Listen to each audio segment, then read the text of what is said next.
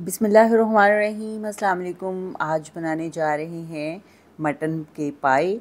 Mutton के पाए हम मट्टी की हांडी में बनाएँगे। बिल्कुल नए अंदाज से, इस तरीके से आई होप कि आपने पूरी यूट्यूब पे कभी पहले नहीं देखा होगा ये वाला तरीका। और इतना आसान है और बहुत मज़ेदार इससे बनते हैं कि दो लीटर हमने पानी ले लिया है मट्टी की हांडी में और कुछ खड़े मसाले इसमें डालेंगे। दार चीनी तीन से चार पीस, दो बड़ी इलायची और दो छोटी इलायची। चार अदद पाए हमने लिए हैं मटन के बकरे के और यहाँ पे एक टेबल स्पून ले लिया है सफ़ेद ज़ीरा साबत और साबत सौंफ लिया है एक टी और एक टी काली मिर्च साबत। तो ये सारे मसाले हमने डाल दिए इसमें।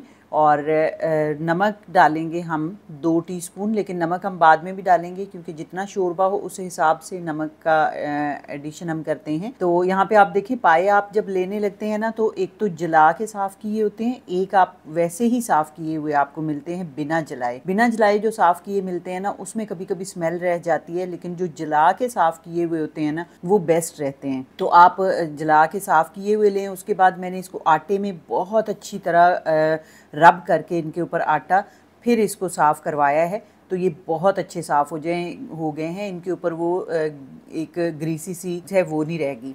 तो यहाँ पे इसको हमने दो तीन दफ़ा उबाल आने तक तेज़ आग रखनी है और जैसे ही पानी में बॉयल आना शुरू हो जाए, तब हमने क्या करना है कि बिल्कुल स्लो आग कर देनी है। दम वाली आग पे अब हमने इसको तकरीबन तीन से चार घंटे के लिए छोड़ देना है। इस इतनी ही आपने आग रखनी है।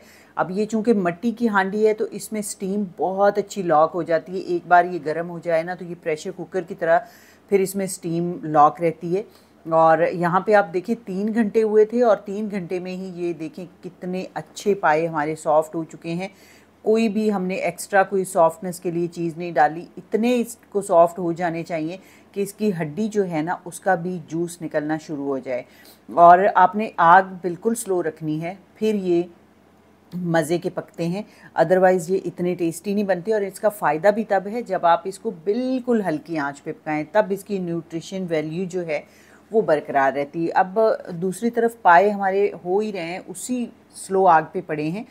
तो इस साइड पे हमने क्या किया है कि वन फोर्थ कप लिया है कुकिंग ऑयल क्योंकि पाए के अंदर अपना तेल बहुत ज़्यादा होता है, चिकनाई होती है और लेस एक किस्म की होती है तो हमें इसलिए थोड़ा सा इसमें ऑयल डालना है, ज़्यादा नहीं डालना। एक अदद प्याज बड़े साइज़ की बारीक चॉप की है।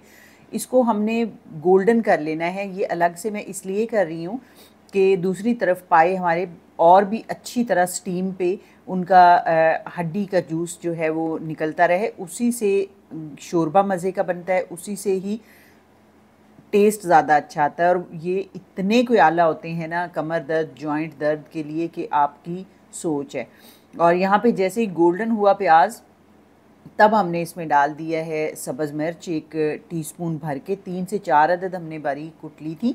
और यहाँ पे एक बड़े साइज़ की टमाटर हमने प्यूरी बना के वो डाल दी है। तो यहाँ पे टमाटर को पकने तक हमने इसका मसाला पका लेना है, ताकि इसका ऑयल ऊपर आ जाए और मसाला इसका अच्छी तरह भुन जाए। मसाले को कच्चा नहीं रहना चाहिए, क्योंकि पाए हमने कोई उनको फ्राई नहीं किया, कुछ नहीं किया।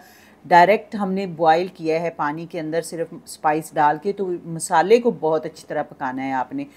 यहाँ पे डेढ़ टीस्पून कुटी हुई लाल मिर्च डाली है क्योंकि हमने सब्ज़ मिर्चें भी डाल दी हैं तो मिर्च और नमक आप अपने जायके के हिसाब से एडजस्ट कर लिया करें। और नमक मैंने यहाँ पे और शामिल कर दिया है एक टीस्पून और एक टीस्पून भर के सफ़ेद ज़ीरे का पाउडर डाला है। पहले भी हमने सफ़ेद ज़ीरा साबत डाला था। ये जो मसाले हैं ना, यही इसमें टेस्ट देते हैं। तो आपने ये मसाले एज़ इट इज़ क्वांटिटी देख के इसी तरह डाल देने हैं क्योंकि हमने इसमें कोई एक्स्ट्रा डब्बे वाला मसाला या रेडीमेड मसाला नहीं डाला।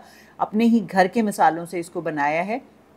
और बहुत अच्छी तरह ग्रेवी को पका लेना है। थोड़ा थोड़ा पानी लगाते हुए इसको पकाएँ, ताकि ये कोई सात आठ मिनट या दस मिनट तक आपने इसको पकाना है। थोड़ा थोड़ा पानी लगाते हुए मैंने बताया ना कि इसी इसी ग्रेवी को हमने सॉरी इस मसाले को हमने इतना अच्छा पकाना है कि इसमें पाए में इसका फ्लेवर जो है ना, वो बहुत अच्छा सा इन्हेंस हो जाए। तो यहाँ पे तब तक, जब तक हमने मसाला तैयार किया है पाए, उसी दम वाली आग पे ही पक रहे हैं, उसी तरह ही। और हल्के हल्के ये जब पकते हैं ना तो इनके जूसेस रिलीज़ होते हैं और ये तब आपको सेहत के लिए फ़ायदा देते हैं। अगर आपने इसको प्रेशर कुकर पे बनाना होता है ना तो इनकी आधे से ज़्यादा तो न्यूट्रिशन वैल्यू जो है वो कम हो जाती है। तो आप जब भी आप पाए बनाएँ, अगर आपके पास खुला टाइम हो ना तो आप इस तरीके से ही बनाइएगा। और इतना आसान तरीका है कि आपने पाए बनने रख दिए और आप अपना काम करने लगे रहे। बीच में थोड़ी, दो, चार बार हमने चेक किया था अदरवाइज़ ये खुद ही पकते रहे थे। और यहाँ पे मसाला जो हमने रेडी किया था, बहुत अच्छी तरह उसको पका लिया और उसके बाद हमने इन पाए में शामिल कर दिया इसको। और इसको पकाने के बाद फिर हमने तकरीबन ये सवा तीन घंटे हो चुके थे यहाँ पे। पाए को पकते हुए अब हमने पौना घंटा जो है ना वो और पकाना है इस मसाले के साथ, ताकि इस मसाले का फ्लेवर पाए में और शोरबे में अच्छी तरह वेल कंबाइंड हो जाए सारे फ्लेवर्स उसी तरह ढांप देना है, बहुत हल्की आँच पे उतनी ही आँच हमने रखी हुई है शुरू से लेके एंड तक। सिर्फ़ पहले जो पाँच, छः, सात सेकेंड मिनट थे ना उसमें हमने तेज़ आग रखी थी ताकि हांडी अच्छी तरह गर्म हो जाए, पानी अच्छी तरह गर्म हो जाए। दो लीटर हमने पहले पानी डाला था और तकरीबन मैंने आधा लीटर दोबारा डाला था। बीच में पानी कम रह गया था तो फिर मैंने आधा लीटर और डाला था। आप भी इसी तरह अगर आपको लगे कि पानी कम रह गया है तो फिर आप भी पानी इसमें और शामिल कर सकते हैं। यहाँ पे आप देखें, लुक देखें आप पाए कि कितने अच्छे गल चुके हैं। इसको है कोई ज़रूरत प्रेशर लगाने की? या इसको कोई एक्स्ट्रा गलाने के लिए, कुछ करने की, इतने अच्छे ये पके थे ना और इतना मज़े का इसका शोरबे में टेस्ट आया था क्योंकि ये बहुत आराम से पकते रहे, हड्डियों का इसका रस जूस निकलता रहा पाए के अंदर तो बहुत आला फ्लेवर इसका आ गया था। और यहाँ पे धनिया और पुदीना के पत्ते, धनिया काफ़ी सारा मैंने डाला है, पुदीना थोड़ा सा डाला है बस। और आप भी अपने जायके के हिसाब से धनिया और पुदीना ऐड कर लीजिएगा। यहाँ आखिर में मैंने मिक्स गरम मसाला डाला है, हाफ़ टी स्पून वही मिक्स गरम मसाला जो हमें मिक्स स्पाइसेस मिल रहे होते हैं, साबत, उसी को मैंने बारीक किया हुआ है। रेसिपी अगर आपको यहाँ अच्छी लगे तो इसको लाइक करिएगा। चैनल पे जो नए हैं चैनल को सब्सक्राइब कर दीजिएगा।